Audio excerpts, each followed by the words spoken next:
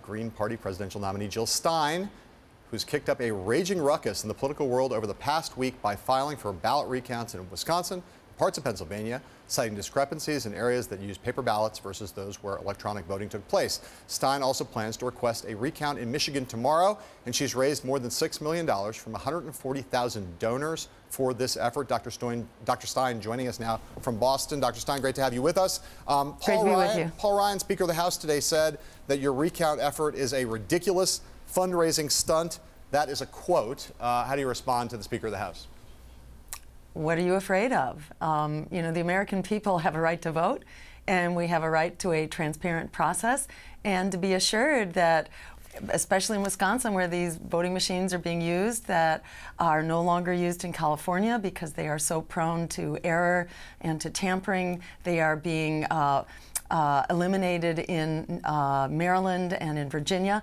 Uh, we should have quality uh, voting systems in all of our states, and uh, the American people deserve to have confidence in our vote, especially coming out of this very divisive and bitter election. Let's have assurance that our, our votes are being counted securely and properly. Right. There's not an election lawyer I know right now who's been involved in recounts in the past who thinks that there's any way these recounts are going to change the outcome in Wisconsin, let alone in Pennsylvania, where the margin is so large. So is this mainly an academic exercise? And I don't mean to belittle it in that sense. I mean that you're trying to go through and say this, this technology doesn't work, this technology does work, to try to restore faith in the system or, or find places where there are holes in the system? Or is this really an effort to try to overturn the outcome of the election? So let me say it's not an effort to overturn the outcome of the election. This is not to help one candidate and hurt another. We had already declared we would do a recount in Michigan uh, before the winner was declared. So this is not about who won. It's really about the process and ensuring the American people at a time of record cynicism and uh, disappointment in our political system that we can be confident uh, in our votes. And it's not just an academic question.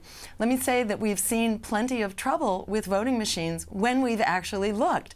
We haven't often looked, but like uh, during the recounts in, uh, in Ohio, uh, 90,000 votes that didn't get counted in Toledo. And the only reason we found out about that was because the people of Toledo uh, in the communities of color felt like they were getting short shrift they brought a legal case, and sure enough, 90,000 of their votes uh, had not been counted. Why? Because the machine wasn't properly uh, calibrated, so it was just a little bit turned, and it wasn't capable of seeing that those votes were actually voted on.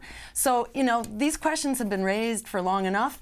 There are other uh, sort of red flags here, which is that you had extremely razor thin margins in these three states.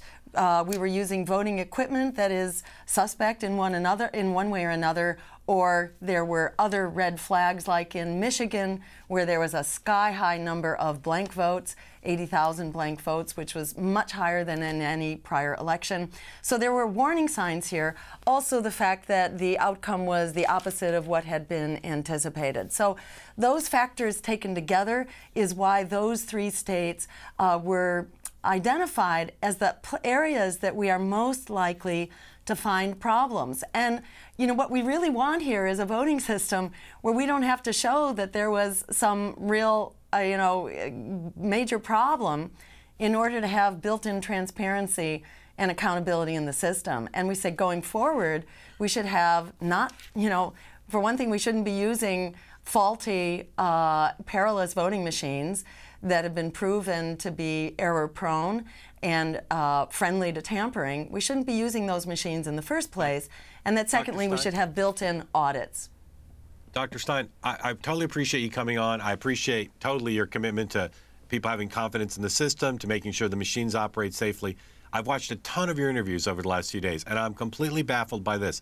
How will recounts in these three states achieve your goal of restoring people's confidence in the system? If you think about how it's going to play out, how could that possibly be the result? Well, you're right. I mean, there are many concerns about the system, but this is a first step. It's also a very time critical step. You but know, all the me, other just things tell me over the next do. few days, just tell me over the, the, the next few weeks as this played out. Tell me the result that you would want to see that would restore people's faith incrementally in the system. Well, what I would love to see is that uh, the system is working flawlessly, and that would be really great. Um, based on the prior performance of these machines, I don't expect that. You know, at the other hand, I don't expect enough that we're going to overturn the results of the election. But I think the issue has been raised, and all I did was put out a press release and open up a web page where people could donate. And people chimed in from all over the country 140,000 donors at an average contribution of $45. You know, it's no uh, secret that there's widespread cynicism and disappointment in our system.